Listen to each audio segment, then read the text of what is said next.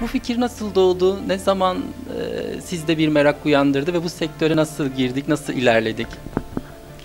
E, aslında bir anda oldu. Uzun süresinde düşünmedim. Kitapları sevdiğim için kitapçılıkla uğraşıyordum bundan önce zaten.